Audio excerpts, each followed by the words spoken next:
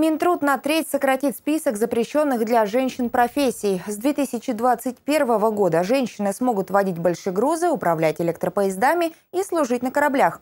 Ну а наш следующий материал о хрупких девушках, которые наравне с мужчинами занимаются обслуживанием вертолетов.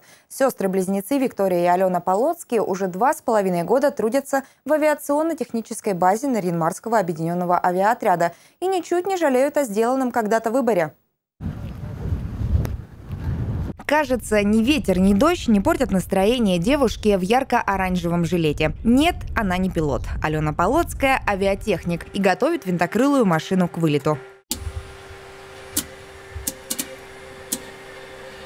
Доброе утро, тренер Разборчан.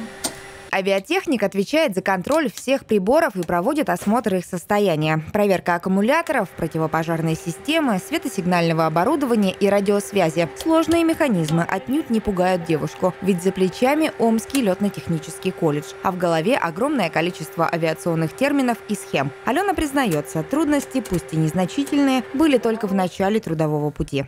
Ну, сначала было очень тяжело к климату привыкнуть, полярные ночи, вот, но потом как-то работа вдохновляет, вот. И как-то к этому-то уже привыкли. Первое время здесь всем тяжело. В Нарьинмар Алена переехала вместе с сестрой Викторией. Близняшки все делают вместе, поэтому и выбрали одну и ту же профессию. Интересный факт – семья Полоцких с авиацией никак не связана. Девушки – первые, кто освоил столь сложную специальность.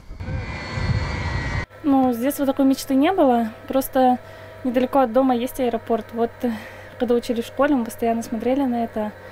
И как-то захотелось, само собой получилось, связали жизнь с авиацией, но еще ни разу не пожалели об этом. Из вертолета перемещаемся в ангар авиационно-технической базы. Здесь вовсю кипит работа. На периодическом обслуживании стоит сразу две восьмерки. Наравне со всеми, с отверткой в руках, у вертолета трудится Виктория. Обязанности у Виктории такие же, как и у Алены – проверять исправность авиационного и радиоэлектронного оборудования. Очень сильно переживали, как вас примут. Коллеги, ну, коллегам спасибо огромное, они очень поддерживают.